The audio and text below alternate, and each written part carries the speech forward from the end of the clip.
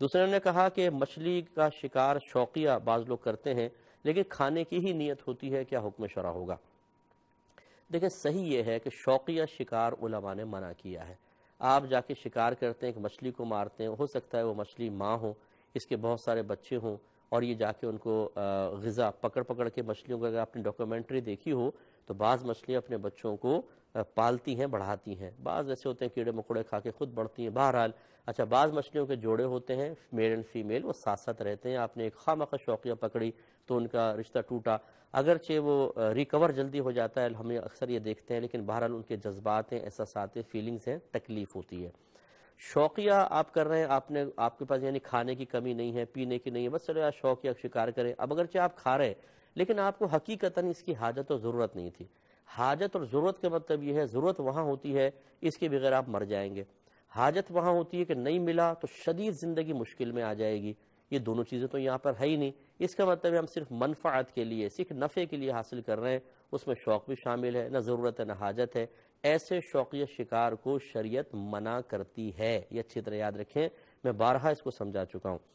ایک ہی کہتے ہیں کہ ہم نے کوئی پوسٹ دیکھی تھی معذ اللہ، اس پہ لکھا تھا کہ نبی کریم صلی اللہ علیہ وسلم نے شاد فرمایا کہ نہریں دیکھنے سے، سبز رنگ دیکھنے تھے اور خوبصورت عورت کو دیکھنے سے نگاہیں تیز ہوتی ہیں۔ کیا یہ ایسی کوئی حدیث ہے؟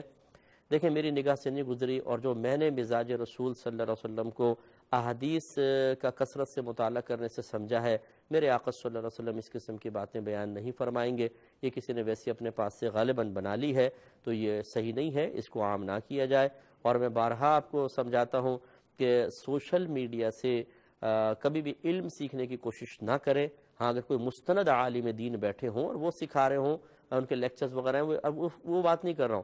یہ پوسٹ وغیرہ اور عام لوگ جو چیزیں ڈال دیتے ہیں ان کو ان سے ہرگز علم نہ سیکھیں، کیونکہ اس میں خطرہ یہ ہے کہ غلط قسم کی باتیں ڈال دی جاتی ہیں اور ہم اسے دین سمجھ کے حاصل کر لیتے ہیں، خود بھی گمراہ ہوتے ہیں اور دوسروں کے لیے گمراہی کا سبب بھی بنتے ہیں۔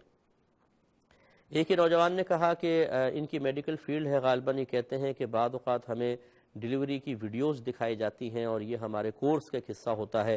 ایسی ویڈیوز کا دیکھنا کیا حکم رکھتا ہے؟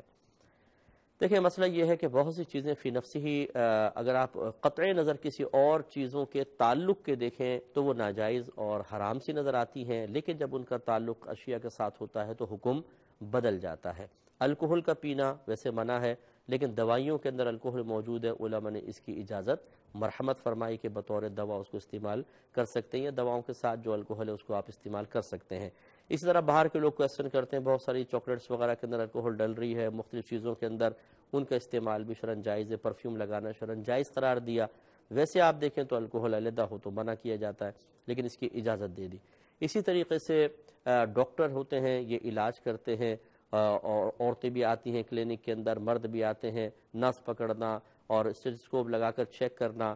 افی نفسی عورت کو چھونا بھی حرام، اس کی طرف دیکھنا حرام، اس کو ٹچ کرنا حرام۔ لیکن چونکہ ان کی فیلڈ ہے، شریعت ان کو اجازت مرحمت فرمائے گی۔